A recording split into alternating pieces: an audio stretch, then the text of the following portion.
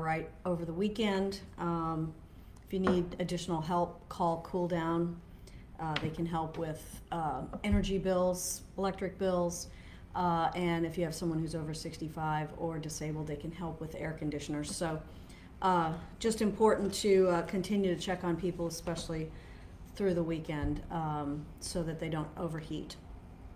So, first up today to talk about COVID. So I think you all know that um, the numbers have continued to rise in terms of number of cases for COVID. Yesterday in the city of St. Louis, we had 98 new cases reported. Um, and I'll talk a little about what those cases look like in a minute. But let me just say that for hospitalizations, we got a little bit of good news yesterday.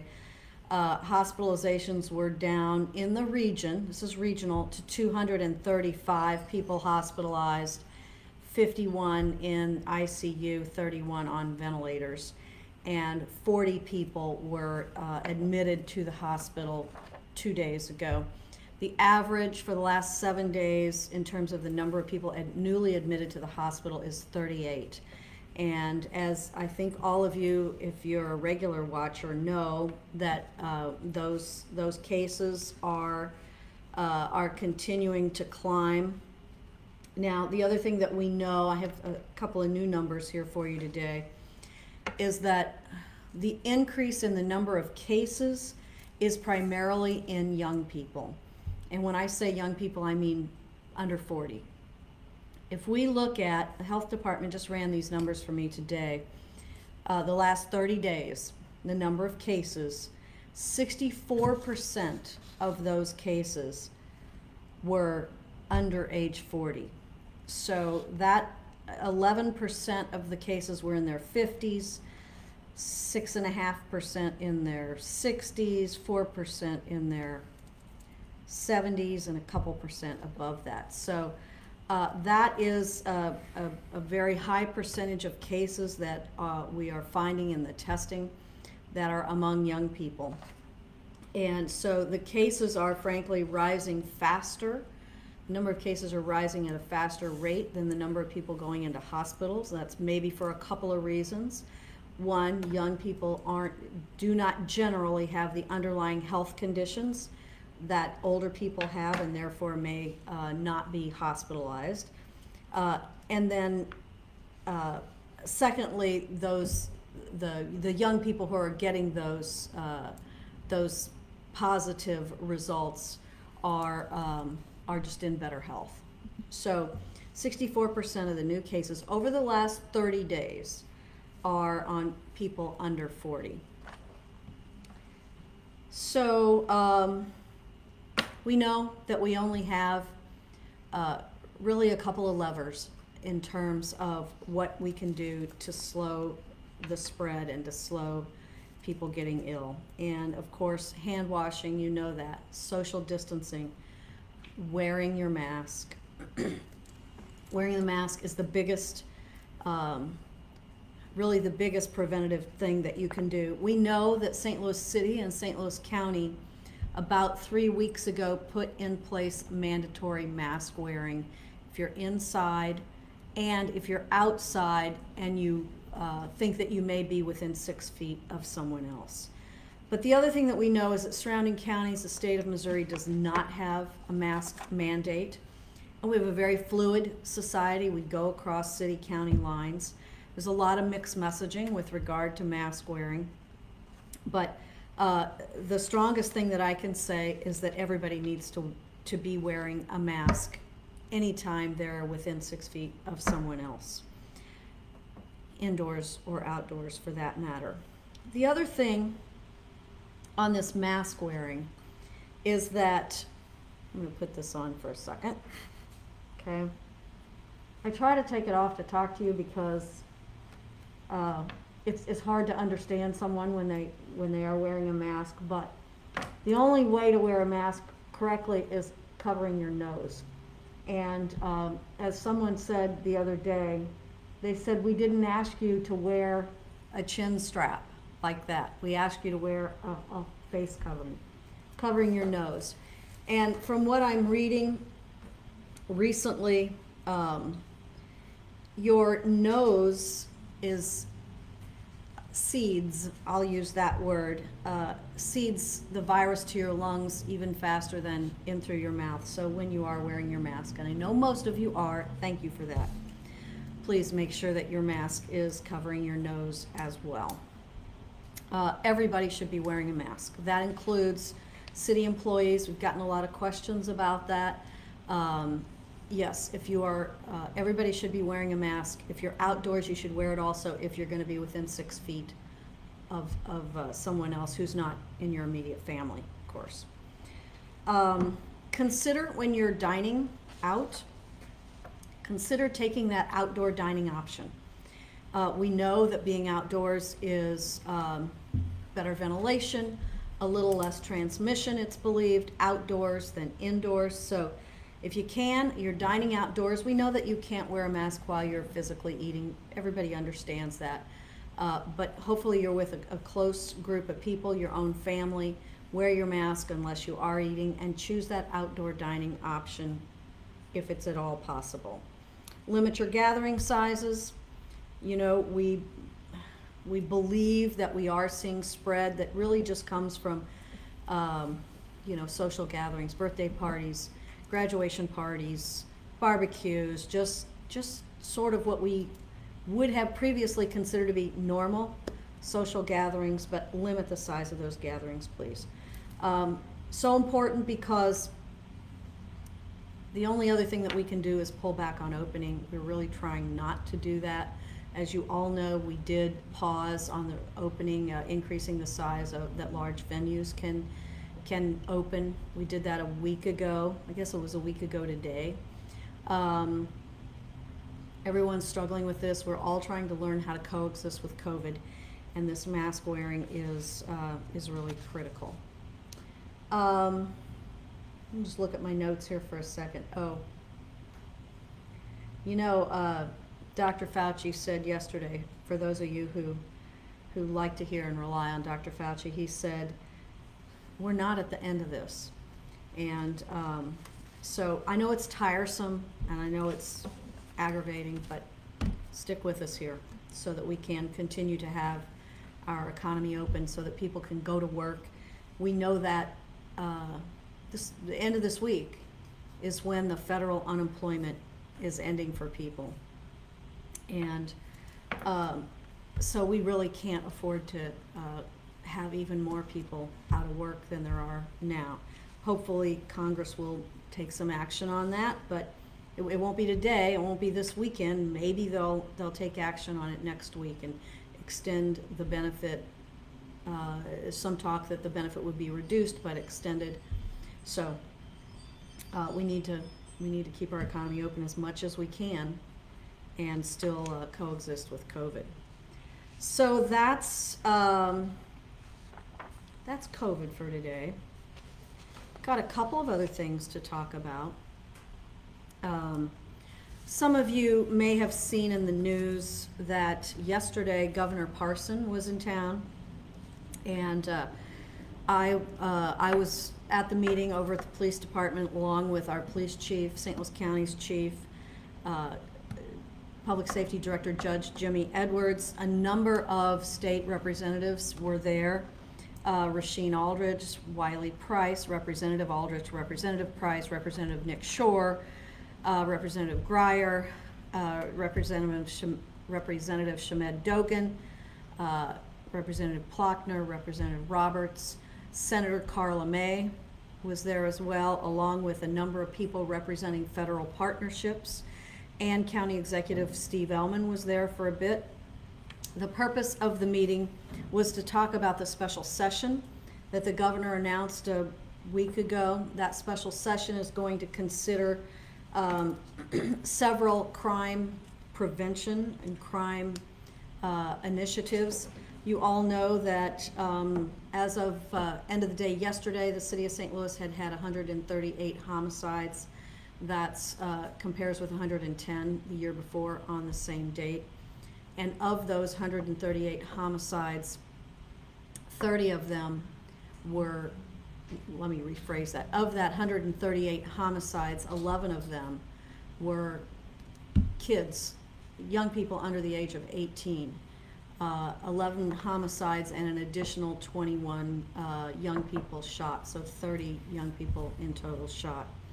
Just a very, very serious situation. There's a lot of stress in our community. There's a lot of um, pain in our community. There are a lot of people settling disputes uh, with guns, and uh, I think this very, very stressful time that we're in right now is we're seeing increases in shootings and homicides all across the U.S., not just in the city of St. Louis.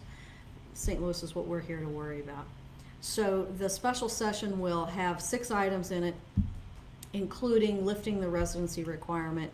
We hope for public safety, uh, law enforcement, firefighters, and EMS in the city of St. Louis so that we have a bigger pool of people to hire from because we are 130 officers short. Uh, we also, there's uh, new witness protection funding in this, and um, there is also something that uh, would make it a felony if you transfer a gun to a minor, someone under 18. Um, so there, there are some good things in this special session. Hopefully, this is not uh, does not become a partisan issue. Um, because we really need to take action on these things. So the special session starts uh, starts on Monday, and um, I don't know how long it'll go. Could be a week, could be a couple weeks. Um, you know, all the details are not out yet about that, but that's what we were meeting on yesterday, and um, it is a, a matter of trying to make sure that we have the resources on the enforcement side, but that we also have resources on the prevention side. So that was, um, that was yesterday's meeting with the governor. Now, um, I mentioned this, next subject, I mentioned this also on Wednesday, a little more information is out there now. City of St. Louis Municipal Court is now online, available for online. It's a virtual court alternative. It was really developed in response to COVID-19. Uh, but it's of course something that we're going to we're going to continue to do. Uh, it is uh, available to anybody who's got whether it be a speeding ticket or uh, whatever kind of ticket that you have that you want to go to court on. You can sign sign on, get uh, an online session. There's a there's a form that's very easy to find on our website. Covers all traffic citations, any metro fare citations, earnings tax cases, property maintenance, and uh, housing code violations, uh, all kinds of municipal violations that um, people. You can also pay your fine online. So I think that's that's a good thing to uh, to come out of this. Now, last subject before I take questions. I don't know. Do you all know what today is? opening day for the Cardinals. Uh, the 129th season home opener tonight at 7:15 against the Pittsburgh Pirates. Uh, this is a 60 game um, season. It's uh, you know no one in the stands. You you know that. Uh, this year's going to be different. The season's going to be like no other season but St. Louis fans are like no other fans either. And so tonight, 7:15, let's play some baseball here in St. Louis. Go Cardinals. Hope you all enjoy it. Watching from your uh, living room couch or uh, somewhere where you're socially distanced. So anyway, go Cards. Questions? Okay, we have quite a few questions, Mayor, on COVID-19 Okay. related issues. Christopher is watching um, and is asking about whether you were part of the phone call that Dr. Deborah Birx had at the White House this week that listed St. Louis as one of 11 American cities that should consider taking more aggressive measures and what your sort of response is to that proposal. So Christopher, I was not part of that phone call. In fact, I learned about it, I, I think on social media, on my phone or something. So no, not, no one in the city was part of that. Uh, we were, we were somewhat surprised to be uh, listed there because there certainly are other areas of the country that, that are having much faster escalation. However, uh, that being said, as you know, if you're a regular viewer, uh, of our Live with Lyda's, we watch these numbers every single day. We graph the numbers every day. Um, we've pulled back on some things, and uh, we are trying to get compliance, mass compliance, which we think is the biggest lever. If we could get 90% of the people wearing masks 90% of the time, the, the epidemiologists and the doctors believe we could see a downturn in this. So, no, I wasn't part of the call. I had no idea that, that uh, we would be uh, mentioned. Um, but nevertheless, we're watching the numbers. A couple of folks asking in general about compliance of the requirements that are required of businesses and the mask mandate, and who's responsible for monitoring compliance, how that's happening, and whether the city's going to consider fines. So the, um, you know, we're all responsible for, for that. Businesses are responsible. They know that mask wearing is mandatory in the city of St. Louis and in St. Louis County. Uh, as you probably know, we have been visiting businesses. We get reports regularly of businesses that are not complying. Both their employees, I'm, I'm assuming this is an inside, but both their employees and their customers have to be wearing masks and that unless the customers are, are eating, eating or drinking.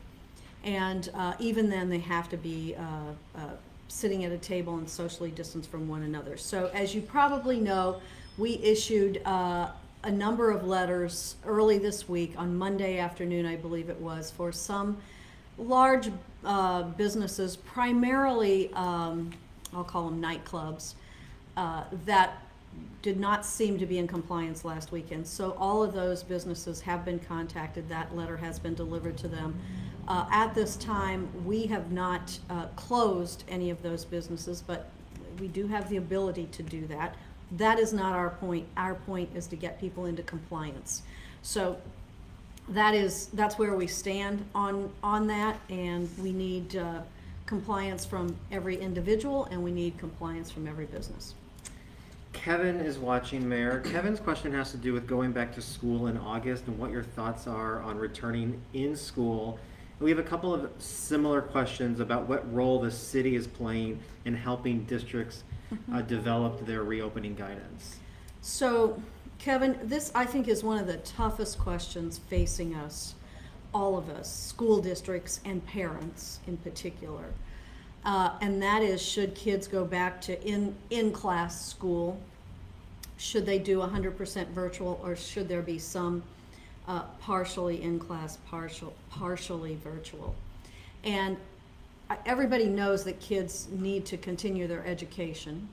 And we also know that we've got to worry about if kids don't go back to school, well, what will they be doing?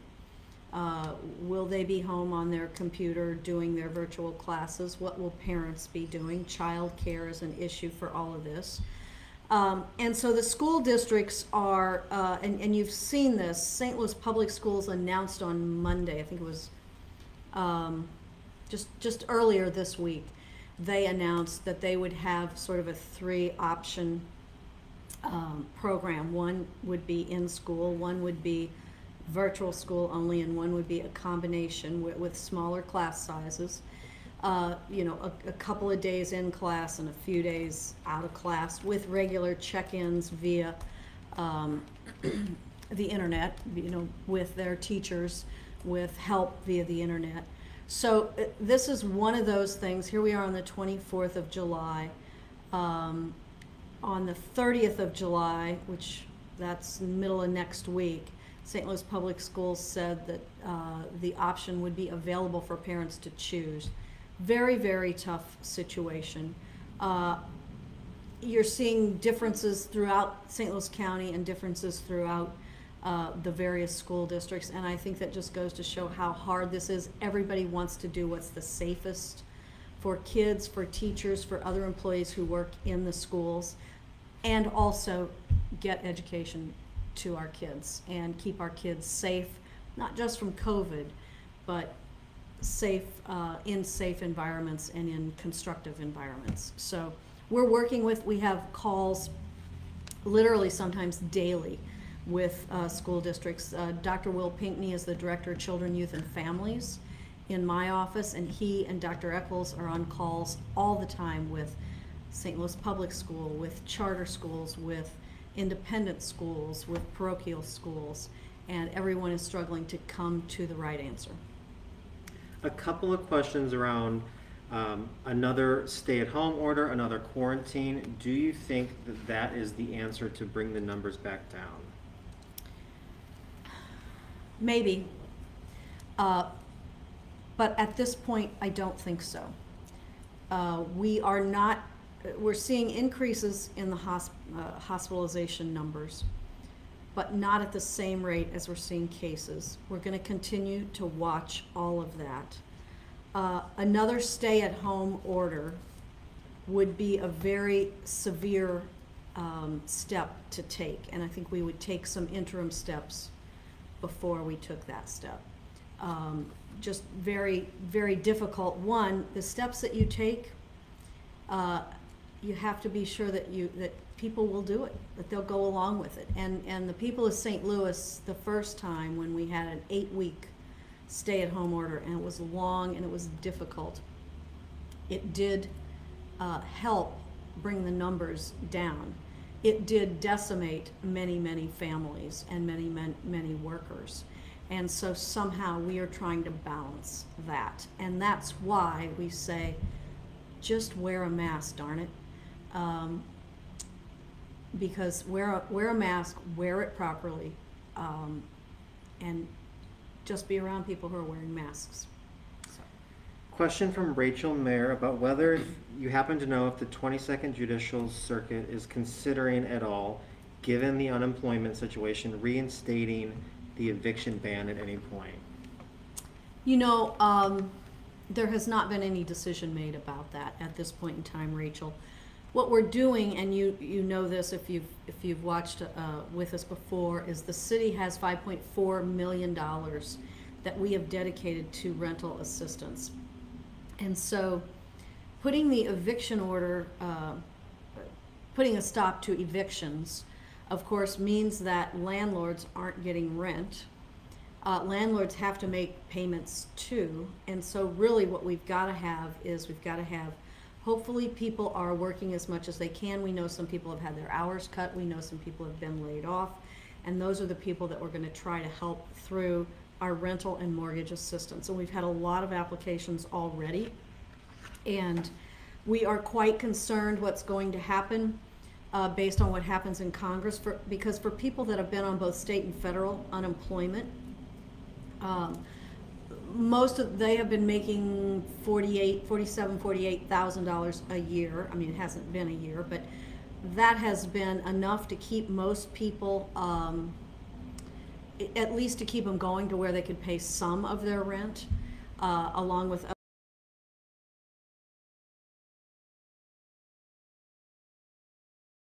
we lose, I, I should say, because we are losing the federal unemployment piece, then we're again quite concerned that there'll be even more people that will need rental assistance, uh, including mediation perhaps with landlords in order to keep them in their, uh, where they live, in apartments, homes, uh, whatever their situation is. Very, very important to do that. A follow-up question, Mayor, to the uh, 5.4 million that the city's making available in rental and mortgage assistance. What has the turnout been like for that and the turner, do you know what the turnaround time will be on getting the assistance? So, as of a couple of days ago, there had been twenty-five hundred applications. The turnaround time will be pretty quick, uh, within a couple of weeks. And so, uh, you know, our, our folks in human services and affordable housing are working very diligently with other agencies as well to try to make sure that, uh, we can get that money where it needs to go very quickly. We have a couple of non-COVID related questions. Okay? Um, Can you provide an update on what the latest is with the cure violence model in the city of St. Louis? Yes.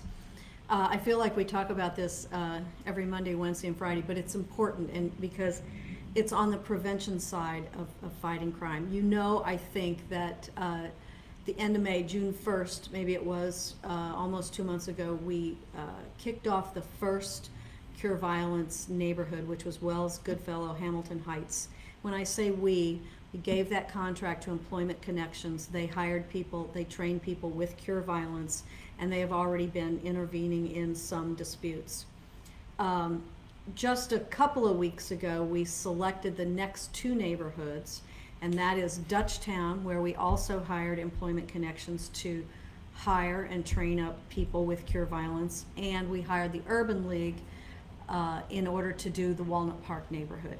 Those, both those, the second two neighborhoods, Dutchtown and Walnut Park, are in the process now of, of hiring, getting trained, that sort of thing. So we should have three neighborhoods running here with Cure Violence in the neighborhoods in, in, in the not too distant future.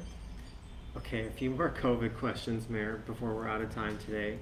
Um, ask, some asking for clarification on what the current restrictions are for group gatherings, like for events, or a barbecue, or a graduation party, um, and what the city's current restrictions say about those. So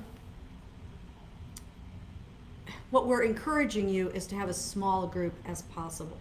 But if, there's actually not a group limit right now on having people over to your house or a barbecue, that sort of thing.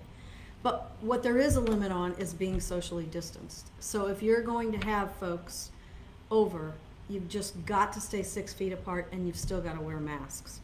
Um, you know, that may be one of the first things that changes if we can't get this mask wearing and if we can't begin to drive these numbers down. But at this point in time, we're trying to, uh, to get everybody to use some good common sense. Keep your groups small, socially distanced, wear a mask, wash your hands. Masks for city employees, Mayor. I think you may have addressed this, but we have a few folks asking if you can ask city employees, including police officers, to make sure that they are also wearing masks in public. Yes, city employees have to wear masks, uh, just like everybody else, um, and under the same conditions. They're inside, they've got to wear a mask. If they're outside and within six feet of someone else, they've got to be wearing a mask. All right, we're almost out of time. We have a question from William about um, any possible guidance. We've talked about youth sports and how the city hasn't allowed them. Is there any consideration for intercollegiate or athletic sports at the college level, like SLU or at WashU, come fall, and what that might look like later in the year? I don't know what it's going to look like later in the year. I wish I did. I know you all wish you did too. Uh, you know, it's just very difficult to predict this this COVID situation. Right now, the numbers are on the upswing. Uh, we don't like that. So I'm not going to make a prediction that that, that will uh, change or that we'll have collegiate uh, intramurals or, or sports. Uh, we'd like to, of course, but um, right now, I'm not going to predict on that.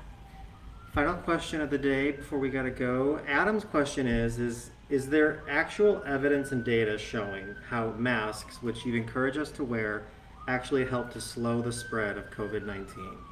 There is. A CDC, World Health Organization, every doctor in every hospital that I know. Because COVID is spread with aerosol droplets, breathing out of your nose, talking, if you're yelling, even more, particularly your nose. So breathing it out or breathing it in, either way. If you use a, the best is a three, three layer mask uh, or face covering but even one layer is better than no layers. So there, I mean, all the professionals, all the physicians, all the hospitals uh, will tell you that wearing a mask will slow the spread considerably of COVID-19. So please wear a mask. All right, it's two thirty. Thanks all. Appreciate you being with us today. Go Cards!